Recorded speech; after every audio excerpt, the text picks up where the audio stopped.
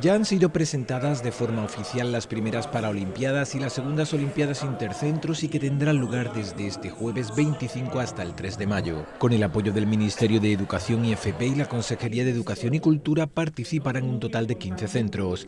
La inauguración tendrá lugar en el Estadio Alfonso Murube. Y vamos a empezar el acto con la entrada de los deportistas de los distintos centros.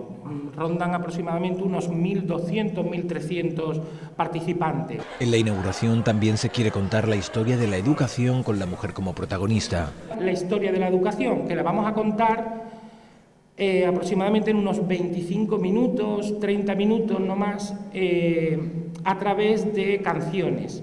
Y esta es la mascota del evento, Abilio, un evento que desde este jueves va a difundir los valores olímpicos de la excelencia, la amistad y el respeto.